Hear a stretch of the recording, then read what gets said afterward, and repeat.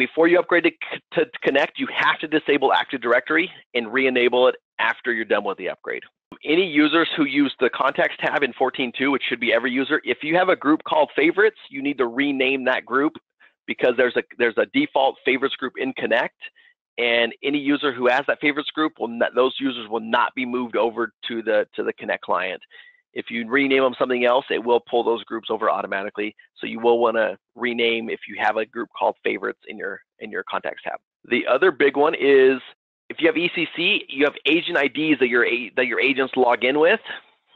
Those agent IDs, if they're set to the extension number, which I would say almost every ShoreTel customer I've ever seen is set to extension numbers, those agent IDs have to be changed to match the client ID in in in, in the PBX side, because ShoreTel's merging more of the functionality between the two. So the user IDs have to be updated in ECC before you upgrade to Connect. One thing they have changed is ShoreTel is getting stricter on the password policies inside. You can lower it, but by default, the complexity is a lot more than change me used to be in the system. So eight characters, one uppercase, one lowercase, one number, and one special character is the new default password setting. So unless you lower that, that's going to be the new password requirements from your users when you do upgrade and they launch Connect for the first time. They're going to get a password, um, a new password requirement where they're going to pick a new password. So that's the complexity uh, requirement out of the box from um, Connect. And as Mike mentioned, softphone and video license are included for all users in Connect. So the one thing on that is ShoreTel is going to issue you license keys for that, but you will have to go turn those on on a per user, you know, basis that you want to turn that feature on. We will have to turn those those licenses on for the users that you want to allow them. So it won't turn them on by default.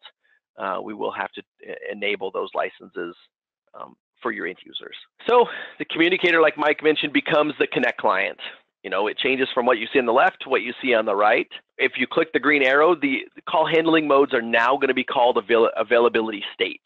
So the modes button on your ShoreTel phones it be, gets named as state instead of mode. So that's one, you know, one big change.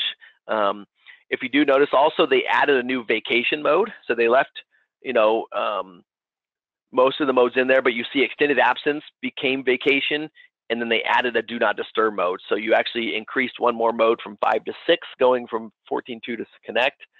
You still have every single mode has a different call handling um, or voicemail greeting and, and, settings and everything that you can still do. So not a lot changed on that piece, but modes went to went to states now. So as you're using the Connect client, it started out really small, and then as I selected people, people replaces contacts. It kind of expanded, and you see all my statuses in the middle. You know, the my the icons telling you if they're on the phone, if they're in a meeting. But then as I selected the user, it bumped out another window to show you Josh's contact information, um, the green icon for phone. So as you're using the application, it's going to expand as you use it, and then as you're not using anymore, you can minimize the windows back down um, to the smaller window. But what I have noticed is that the Connect client does take up, if when you're actively using it, it's going to use up more space.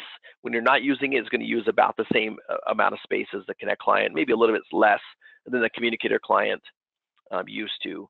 So it, but it does expand and, and shrink as as you use the client. The ECC agent toolbar, which I think what we had a question earlier, the, the about integrating. So the agent toolbar right now is integrated into Communicator. Well, this is now a new standalone web app called the Agent Interaction Center. As you can see here, there's more information that you can display inside the application. You have on the bottom, you have different information you can show about your about your queues.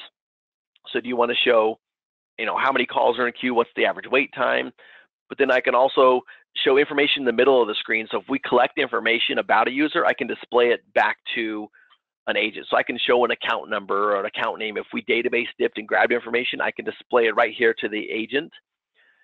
I also have some call control, so you don't necessarily have to switch back to the Connect client in order to, to hang up a call or to conference a call or transfer a call. They have they have started building some of that functionality into this with the goal of, of adding a few more functionality into this client. So your your agents wouldn't necessarily have to be always have the Connect client and the um, ECC agent interface up at the same time. They wouldn't have to necessarily have them both running at the same time. They could just use the agent interaction center and they'll have capability to do more stuff. Like you don't see a mute option on here. I know the mute button is coming. Um, they added the transfer in the conference, but which weren't in the in the initial ones. Um, you have the request. You, can raise your hand to request supervisor support.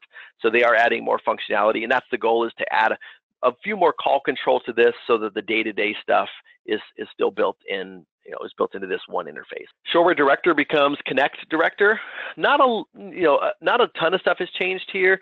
They kind of took the diagnostic and monitoring that you saw in 14.2 and use that same layout for the rest of Director. A lot of the stuff is still in the same. You see under users, you still have the same stuff underneath users. The biggest thing is they changed underneath features.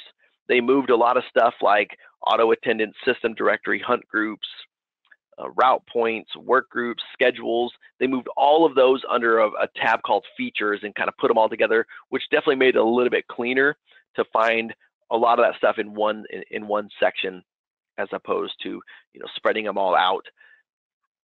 From an IT level, you know there is going to be some change to to what it looks like though, so you'll want to kind of plan on uh, um, on a little bit of training for your IT team as that interface did change uh, a little bit.